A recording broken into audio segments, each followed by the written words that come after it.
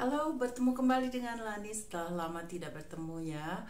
Uh, saya sekarang ini sedang berada di, uh, di Istanbul uh, lagi, uh, dan kali ini saya ingin uh, membuat video setelah sekian lama um, untuk membahas sesuatu yang sudah lama saya ingin bahas, uh, yaitu mengenai building connection atau membangun uh, membangun koneksi atau membangun hubungan dengan orang lain ya. Uh, ini base uh, referensinya saya ambil dari uh, bukunya Brené Brown, Dr. Brené Brown. Uh, judulnya di Atlas of Heart. Ya, jadi map uh, hati kita artinya. Uh, ada saya kemarin ini ketemu uh, video ringkas yang um, membuat ringkasannya dari atau opininya uh, seorang perempuan sih uh, perempuan muda young lady yang um, membaca buku tersebut dan juga um, mempublishkan uh, di video. Uh, young lady ini dia memfokuskan uh, buku ini sebagai sesuatu yang uh, baru untuk dia merasakan dan mengenal berbagai macam emosi dari manusia. Dan dia memfokuskan hanya dengan uh, berbagai macam emosi. Uh, actually menurut uh, Dr. Brené Brown ada 87 emosi uh, dan manusia itu. Tetapi uh, biasanya kalau kita ditanya apa uh, emosi kita, biasanya hanya ada tiga. Bahagia, sedih dan uh, marah. Ya hanya tiga itu. Nah saya sempat berpikir uh, kenapa ya uh, yang lady ini dia hanya berfokus dari macam-macam emosi mengenal banyak-banyak emosi dan stop di situ sedangkan menurut saya uh, buku ini itu tujuannya untuk membangun relasi uh, dengan orang lain atau dengan orang sekitar. Saya mungkin ya ini menurut saya karena orang Asia orang apalagi orang Indonesia uh, emosi itu sesuatu yang jarang sekali dibicarakan dan jarang sekali diekspos dan jarang sekali um, biasanya kalau oh, zaman dulu itu orang tua orang tua kita bilang oh kalau kamu rasa merasakan apa emosi kamu itu tidak penting. Yang penting itu kamu harus uh, blend in kamu harus menuruti norma-norma umum. Jadi yang dipentingkan itu uh, yang dipentingkan itu uh, kita mengikuti da seperti orang lain. Itu memang uh, tipikal dari uh, komunitas kolektivism seperti orang Asia ini. Kan kalau di Barat itu lebih individualistik ya. Jadi emosi itu lebih individual untuk mereka. Sedangkan untuk kita ah tidak penting. Yang penting kepentingan umum nah mungkin karena itu dia stop di situ saja. Nah saya ingin membahas uh, lebih lanjut untuk apa kita mengenal emosi itu. Karena kita mengenal emosi itu ada manfaatnya. Itu untuk membangun dan menguatkan uh, diri kita dan juga kita dapat memilih uh, apa membuat choices ya mem, untuk apa yang kita rasakan mempunyai kontrol. Kita mempunyai kontrol atas emosi kita. Kita tidak mempunyai kontrol atas emosi orang lain. Dan uh, juga saya per, selalu berkata kalau emosi kita itu di sini di pangkuan kita. Sedangkan logika kita itu ada jauh di belakang. Jadi apa pun uh, uh, tindakan kita apa pun uh, keputusan harus hati-hati karena emosi yang duluan yang yang berbicara logikanya di sana di belakang. Jadi kadang-kadang kita harus pause dan kita harus uh, melihat ke belakang. Dan menge, uh, kalau kita memperdulikan perasaan orang lain itu sesuatu uh, yang sangat susah ya karena itu orang lain rasa yang yang orang lain rasakan belum tentu seperti yang kita pikir ya. Karena itu lebih baik kita kontrol emosi kita. Dan juga uh, kita harus percaya kalau uh, orang lain sedang me mengungkapkan perasaan mereka uh, dan percayalah. Dan itu adalah salah satu standar dari uh, membangun relasi yang atau membangun hubungan dengan uh, orang yang uh, kita ingini untuk berhubungan ya atau uh, relasi uh, relasi kolega atau sekitarnya kita. Nah, yang penting dalam uh, dalam tema ini koneksi itu sangat-sangat dipengaruhi oleh kontrol bagaimana kita mengontrol emosi kita.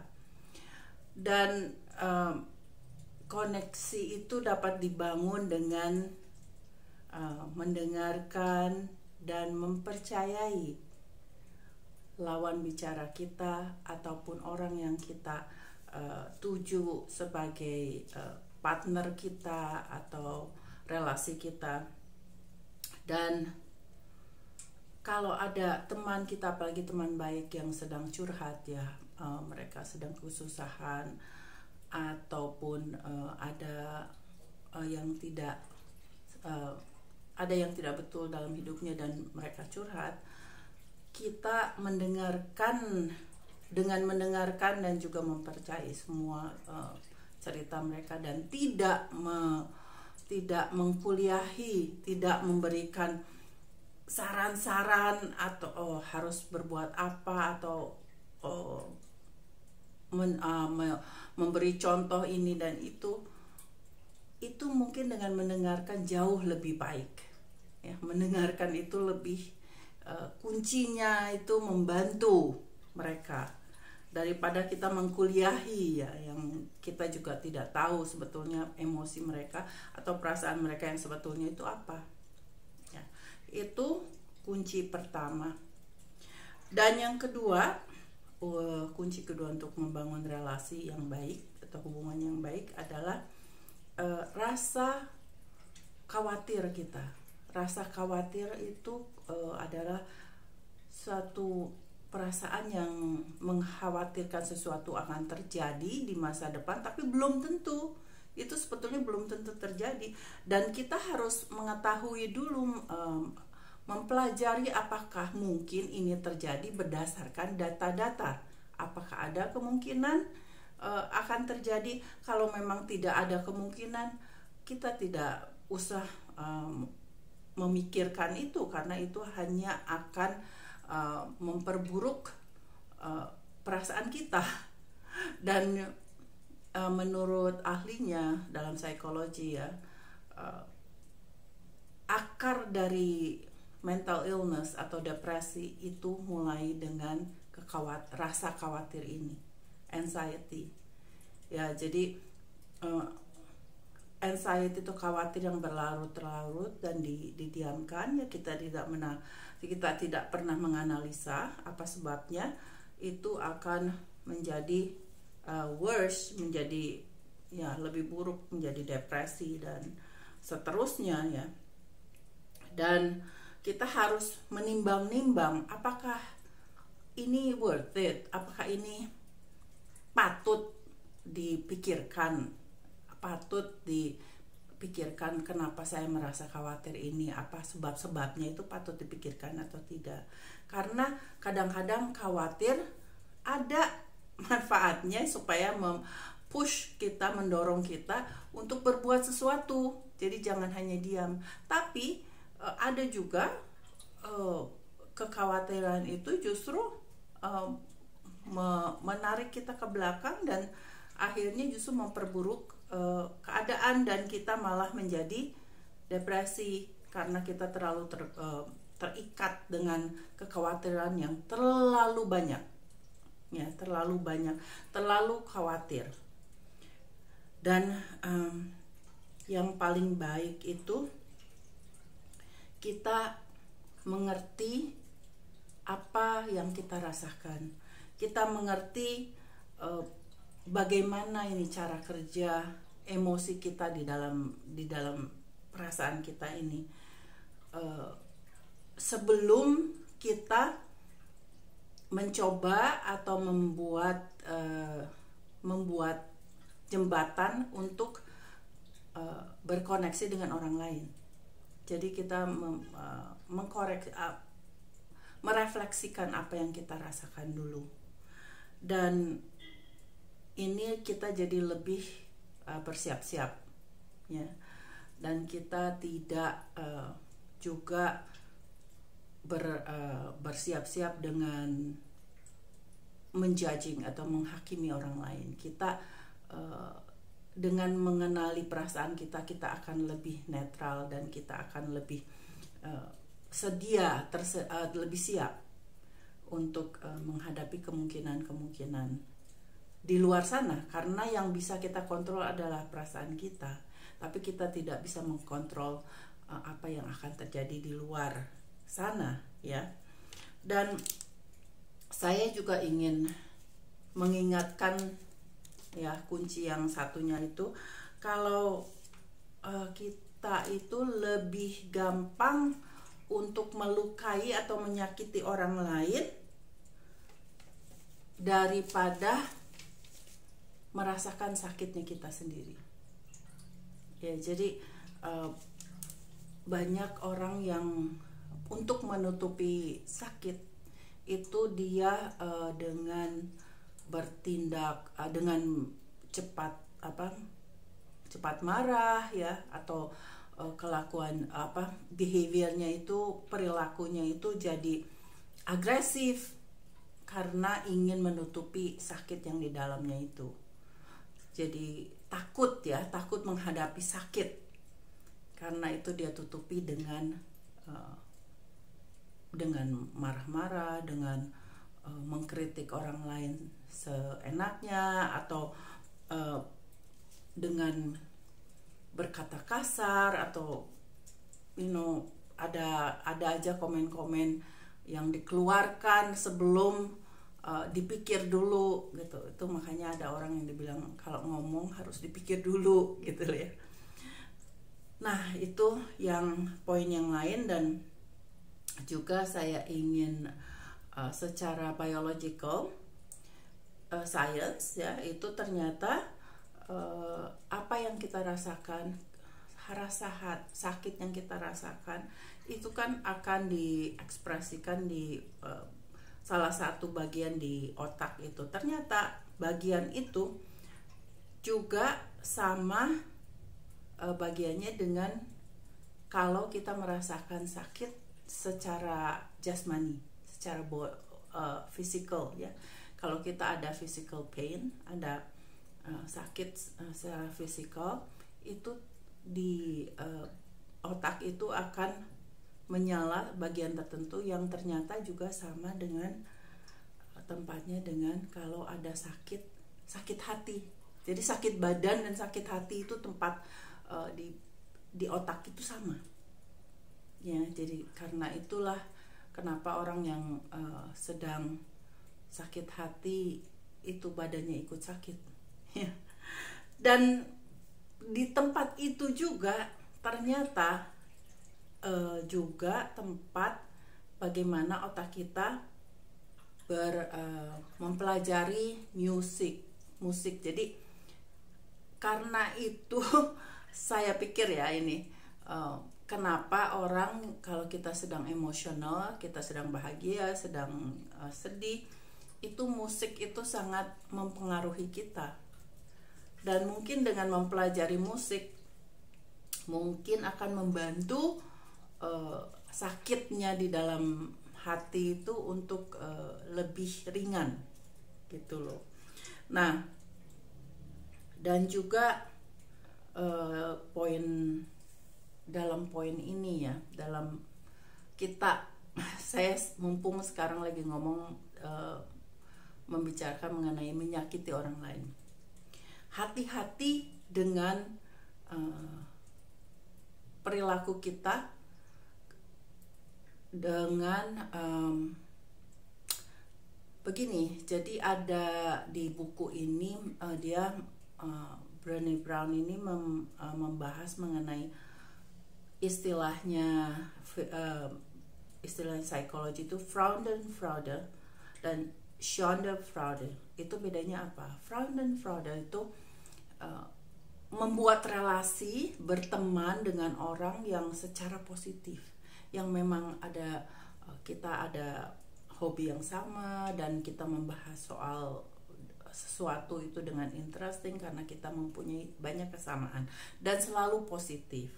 Tapi kalau Schadenfreude itu berteman, berelasi dengan seseorang base berdasarkan atas sesuatu yang negatif. Misalnya eh, sama-sama membenci satu orang itu. A dan B berteman dengan baik karena dua-duanya sama-sama uh, membenci C dan sering mem, uh, mem, membicarakan jelek-jeleknya C karena A dan B ini karena itu mereka jadi berteman. Itu karena mereka uh, mempunyai sesuatu interest yang sama tapi bukan positif, negatif. Jadi sangat berhati-hati kalau berteman. Lihatlah apakah uh, Anda berteman secara Freud dan Freude atau Freude. Ya, so uh, itu hal yang penting saya harus uh, mention karena banyak sekali di luar sana itu uh, berteman karena sesuatu yang tidak baik, destruktif gitu. Jadi kita harus hati-hati ya. Jadi diulang kembali atau dianalisa kembali eh, relasi-relasi Anda. Dan emotional part of the brain itu juga kita harus um, harus melihat bagaimana itu mempengaruhi sakitnya badan dan juga uh, bagaimana mem membangun membangun relasi itu secara secara baik ya secara baik. Jadi jadi kita mengenai kita sadar kalau physical pain dan uh, mental pain itu mereka ada di tempat yang sama. Jadi hati-hati ya. Kemudian juga uh, saya ingin membahas juga yang ya itu yang tadi Sean Fraude atau toxic relationship atau toxic friendship uh, itu harus dilihat kembali apakah pertemanan anda sehat relasi anda sehat dan positif ya. Dan juga yang kita kalau kita ingin membangun relasi uh, yang baik dengan teman-teman kita uh, lebih baik kita tahu mengetahui uh, dengan pasti apa yang emosinya kita. Jadi mapnya emosinya kita kita ketahui sebelum kita uh, dan itu memudahkan sih memudahkan untuk berteman dengan orang lain uh, siapa pun itu teman kita ya. Jadi kita sudah dibekali dengan uh, dengan emosi yang stabil dan positif. Dan juga kita harus membiasakan untuk uh, melepaskan emosi-emosi uh, yang negatif agar kita dapat uh, menjadi vulnerable atau rentan ya apa adanya. Jadi kita dengan apa adanya dan uh, dengan demikian kita dapat uh, membangun koneksi yang yang positif ya. Jadi kita siap dengan koneksi yang positif seperti itu. Uh, dan juga kita uh, kalau saya ingin mengingatkan lagi sekali lagi yang ke yang tadi kalau kita berteman ada seseorang yang curhat dan itu teman baik uh, dan kita menggurui dengan kita menggurui atau mengasihani itu tidak akan membantu mereka. Jadi kita lebih baik mendengar karena kita juga belum tentu apa yang kita katakan itu cocok untuk untuk mereka ya. Jadi kita harus uh, membiarkan mereka melepaskan apa yang mereka katakan. Kadang-kadang kan orang bilang cukup di cukup didengarkan itu sudah menolong. Ya dan juga mempercaya apa yang mereka rasakan. Ya. Um, kemudian juga mengenai empati karena kita sedang membicarakan curhat-curhatan ini. Ya. Empati itu tidak merasakan apa yang uh, apa orang lain rasakan ya tapi mengerti perasaan mereka uh, dari perspektif mereka. Ya, jadi saya juga pernah uh, waktu saya masih kuliah dulu uh, edukasi ya. Uh, kita sih uh, kalau di New York karena memang di sana penduduknya itu sangat-sangat melting pot dari seluruh dunia ada. Jadi kita ada khusus satu subjek mengenai uh, cultural uh, understanding other culture gitu mereka tuh selalu bilang kita harus mengerti dulu akar dan kulturnya kita sebelum kita mengerti kultur orang lain. Ya, sama saja dengan perasaan ini juga dengan emosi ya. Kita harus mengetahui apa yang kita rasakan sebelum kita dapat mengerti perasaan orang lain, tapi perasaan orang lain dengan perspektifnya mereka. Begitupun untuk kultur ya, kita um, mengetahui dan um, sadar apa itu kulturnya kita dan dapat mengerti kultur orang lain dari perspektifnya mereka, bukan dari perspektifnya kita.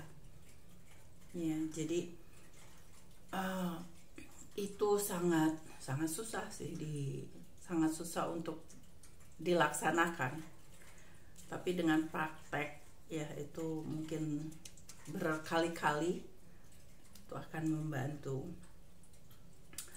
dan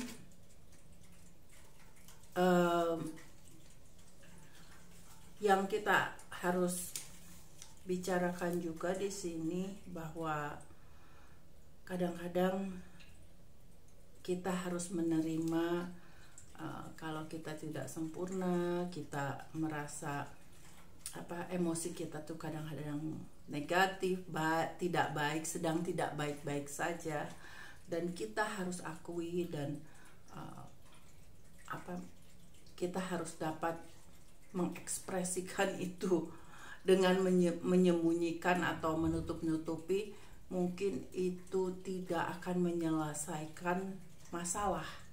Ya. karena mungkin dari masalah yang besar itu ternyata akar-akarnya itu karena perasaan emosi saja. Ya banyak sekali konflik-konflik yang uh, ada di luar sana yang ternyata berakar dari emosi masing-masing pihak. Ya jadi bukan logika. Ya jadi kalau kita uh, satukan mereka diskusi dalam diskusi dan di uh, dilihat uh, akarnya apa dan akhirnya ketahuan kalau bukan uh, persoalan fakta bukan yang yang bertentangan tapi ini emosi biasanya sih begitu. Ya jadi dilihat dianalisa lagi kalau ada sesuatu pertentangan atau konflik. Dan dalam semua ini mengerjakan semua ini apalagi dengan membeberkan emosi kita dengan menerima uh, apa yang emosi orang lain itu semuanya perlu keberanian ya karena dasar dengan dasar keberanian ini kita tidak merasa takut uh, akan kita tidak akan merasa takut akan dihakimi. Ya karena seperti yang kita tahu kalau dalam sesuatu keadaan itu semua orang harus show up. Semua orang baik kita uh, uh, pihak-pihak lain itu harus ada di arena untuk uh, untuk uh, membangun apa yang disebut relasi atau koneksi yang sehat ya kita harus ada. kalau kita saling menyembunyikan atau men, apalagi menutup-nutupi perasaan itu nanti relasinya tidak akan genuine itu tidak akan uh, apa uh, tidak akan murni ya jadi itu bukan hubungan yang murni. Dan tentu saja ini sangat-sangat penting apalagi kalau dalam hubungan uh, asmara yang akhirnya menjadi uh, keluarga nantinya ya itu itu kan lama sekali itu kan untuk untuk permanen. Hubungan untuk relasi juga memang kalau hanya berteman ya kita bisa ada konflik terus tidak bertemu lagi tapi dengan uh, untuk menjadi pasangan kan itu harus dalam jangka waktu lama ya dan lawannya dari keberanian itu adalah bukannya takut ya. Jadi itu lebih seperti yang tadi saya bilang menutupi uh, perasaan, menyembunyikan uh, perasaan dan um, sepertinya di depan itu baik-baik saja tapi sebetulnya perasaan kita tuh lain lagi. Nah, itu armor. Ya, jadi seperti uh, apa tameng ya. Kita membuat tameng di depan kita. Dan um, itu tidak berarti kita tidak berani ya tidak berani untuk rentan untuk mem, uh, memamerkan kita sebagai apa diri kita sebagai apa adanya okay. jadi begitulah atlas of the heart ya atau map dari uh, hati kita itu kita ini saya berharap uh, ini dapat membantu siapa pun yang sedang uh, merasakan sesuatu ya dan um, saya rasa buku ini cukup bagus ya untuk dibaca untuk uh, apalagi kalau seperti tadi yang Lady tadi yang membaca akhirnya dia menemukan dirinya sendiri dan dia menemukan ternyata apa yang saya rasakan tuh ini. Dan seharusnya tuh saya tidak merasa begitu. Dan itu baik. Itu salah satu uh, cara pertama untuk kita nantinya membangun uh, relasi relasi atau hubungan-hubungan yang berhasil di entah itu hubungan relasi uh, bisnis atau dengan relasi uh, untuk nantinya menjadi uh, apa hubungan asmara atau apa pun semua itu. Ya jadi saya harap ini sangat uh, ber sangat berguna untuk semuanya. Dan juga saya sangat sangat bahagia uh, dapat berbagi lagi setelah lama saya tidak muncul dalam uh, video karena satu dan lain hal dan di Istanbul ini kota yang memang selalu saya rindukan uh, saya akan mengakhiri di sini dan selamat uh, selamat menikmati the rest of the day. Okay, bye.